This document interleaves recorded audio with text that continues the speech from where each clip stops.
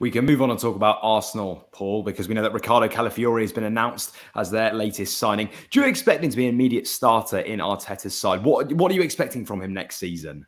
Well, I think he's a great signing. Uh, I was really impressed with him. The Euros started for, for Italy in the Euros, came into as a centre half, left sided centre half, can play left back. And I think that's the one thing that Mikel Arteta will look at. I think the problems that they had there last year in, in the left back areas. I mean, you look at the, the two centre halves in Gabriel and Saliba, they were outstanding last year. Without a doubt, they were the best two centre halves in the league as a pairing. The defensive record that they had with David Raya as that triangle, they were they were excellent. And it's going to be very, very difficult for him to break that partnership as at the start of the season. But as we know, injuries, suspensions, and everything going through the season, if Arsenal are to challenge, which I think they will again, they'll be right up there again with Manchester City, um, and they're getting ever ever closer. You add players like that to your squad. It's not necessarily now. We're not looking at the start of the season. Oh, Mikel Arteta's picked eleven players. That's it. That's his starting eleven. Calafiori will come in, he'll play games and he'll play in the left back area. He gives him an option whether he wants to play three at the back as well. You look at Gabriel, Saliba, and Calafiori you look at that as a, a three, as, as, a you know back three. That's it's, it's very very strong. So it gives him a, a, number of options. If there was injuries or suspensions to Gabriel and Saliba, if there was a loss of form of either of them, and he also gives him an option of playing three at the back and him on the left hand side. He's it's he's a great signing, a really really good signing. Good young player, talented player, can play out very well from the back, very comfortable with the ball, and I think he'll fit in very well. And Do you think they're following the blueprint of Man City, Paul? A bit like Nathan Ake was brought yeah. in as a centre back, playing as a left uh, uh, full back and everything else. And again, Ben White probably was brought in as a centre back, but then moved to right back and has been excellent. So probably having four centre backs across their back line, really. Yeah, in a similar way, and also that they can drop them in as the the hybrid midfielder, the extra man, the deep holding midfielder. Um, it's yeah, it's it's exactly in in that vein, um, but it's just another quality player into the squad. And Pete, picking up on some other transfer news, I mean, there, there's still some ongoing talk about Victor Osimhen and Arsenal and those links. Do they have any interest in the Napoli forward? Could they potentially hijack a deal um, for the, from the likes of, say, PSG or Chelsea this summer? Yeah, they have been interested in Osimhen before. They wouldn't be doing their homework if they weren't interested in these top strikers. We've all uh, previously spoken about how we feel that Arsenal's probably final piece in the jigsaw is an out and out number nine, somebody who can score 20, 25 goals a season. Osimhen could be that man. I just think probably be a bit too expensive for Arsenal right now. Um, again, if other players were to leave, a boost to transfer kitty.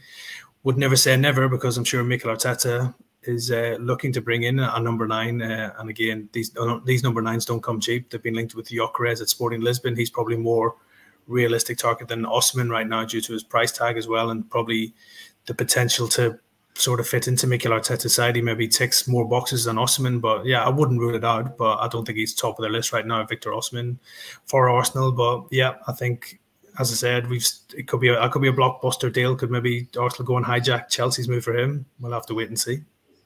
Paul, do you think they are one striker away potentially from clinching the title next season. If they are to go toe to toe with Manchester City, which other positions do they need to strengthen to try and challenge again next year? They proved last year that they don't. They, they don't need that striker. But there's a lot of talk about that they would they play differently, and they do need that out and out number nine.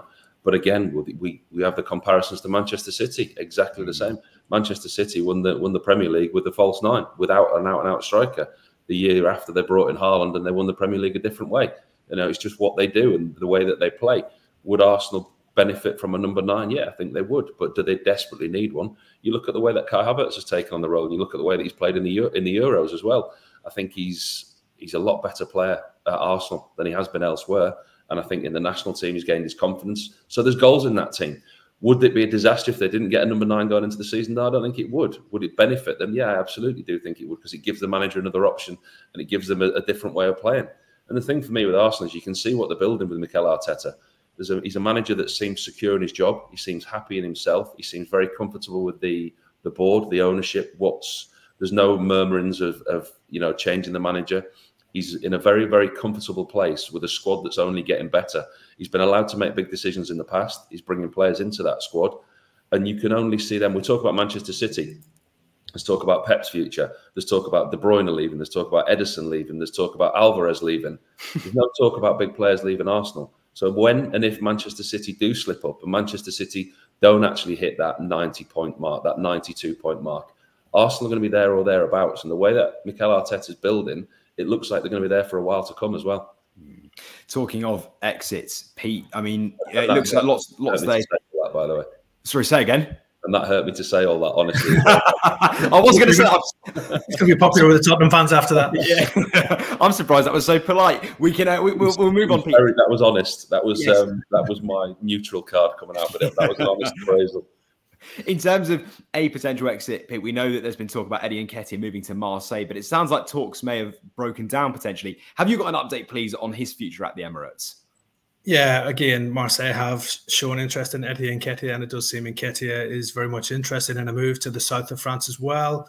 It's just probably uh, meeting Arsenal's valuation of the player is the stumbling block for any deal to happen right now. I think they've come back with an improved bid, Marseille, which is around 17 million pounds, but that's nowhere near what Arsenal are looking for in Nketiah. I'd say they're looking at least between 25 to 30 million for Nketiah to, to allow him to move from the Emirates. Uh, they got 27 plus 7 for Emil Smith Rowe. So I think they'll be looking around similar for Eddie Nketiah, who's under a long contract at Arsenal. He's uh, probably got more first team experience as well than uh, Emil Smith Rowe as well. So yeah, Arsenal won't let the player leave on the cheap. There's no doubt about that. Um, but I'm sure that the two clubs will continue talks and there will be a hope that the, a compromise can be reached because if Arsenal were to bring in a new number nine, it's just making things even harder for Nketiah and pushing him further down the pecking order. And I think at the age of 25 right now, he just needs to move on, find a new club, uh, and really sort of kickstart his career because he's just been playing a bit part role at Arsenal over the last couple of seasons. And I'm sure he's frustrated with that. And uh, I think right now, Marseille could be a, a good landing spot for him, uh, working under Roberto De Zerbi, who has already gone back to the Premier League and signed a, a, couple of other players this summer as well. So yeah, he's looking to build something there at Marseille, De Zerbi to try and challenge the likes of PSG. So I think uh, Nketiah could be a good signing, and uh, I think at this stage of his career, it's something that Nketiah seriously needs to consider now to move on and leave Arsenal.